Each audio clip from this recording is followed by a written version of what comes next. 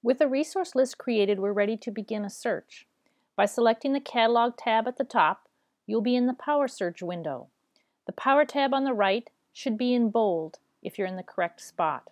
This is the place to be for any sort of in-depth research. In the Power Search window, you will have three fields for entering search terms. By each search field, there's a drop-down menu.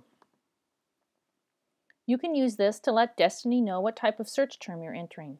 Sometimes you want to search by title or author, but in this case we're going to use keywords, which is how you'll probably start your research. Our topic for this example will be nuclear energy, so we might enter the simple search term nuclear.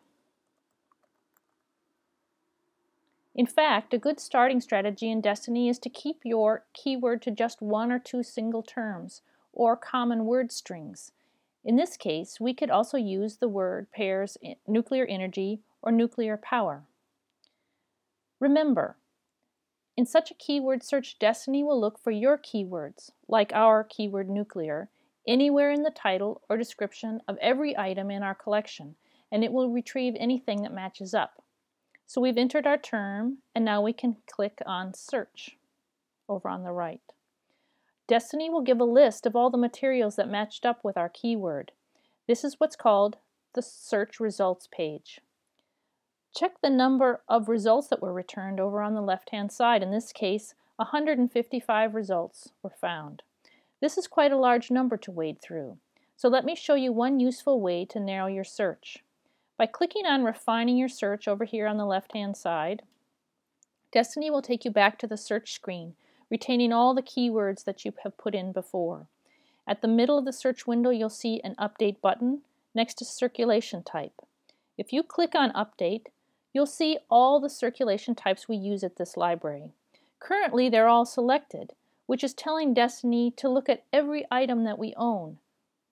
But we can be more selective if we clear all the check marks at Clear All and choose what we think will really be important for our topic.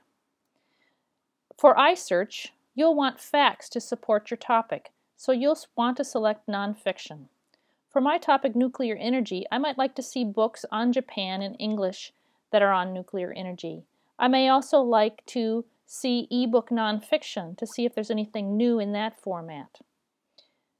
Once I've selected the things that are useful to me, I'll click OK.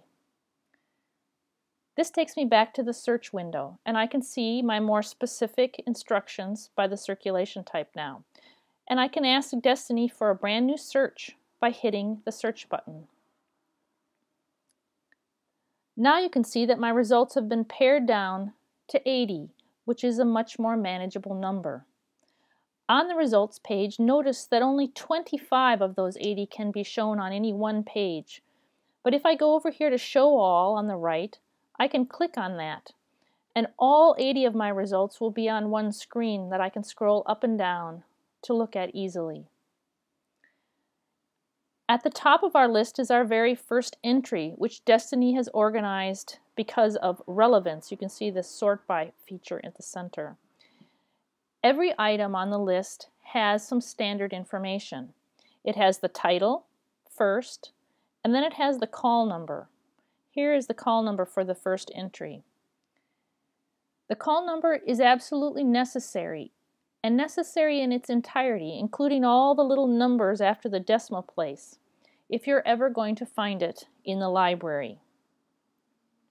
The other piece of information that's important on each entry is whether the book is available and how many copies we have. For our first entry, one out of one means that we have one book and it's available. The next entry says zero out of one, which means that we have one copy but it's currently checked out. Please don't let those zeros discourage you. If you need an item that is checked out to someone else for your research, librarians will help you get a copy ASAP. You just need to let us know about your dilemma. For some research topics, having the latest information is absolutely vital. With the sort by feature up at the top, you can sort by date so that the most recently published items are listed first. If we go to the drop-down menu, we can find Date and hit Go, which reshuffles our 80 entries so that the most recently published ones are at, at the top. And you can see the fourth item, for instance, is a book on Japan's energy situation after the Fukushima nuclear disaster.